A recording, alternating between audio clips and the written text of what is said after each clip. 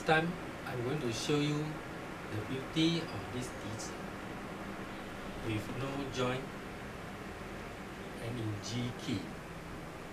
I'm not going to play any song but just sound to show you the beauty of this dizi.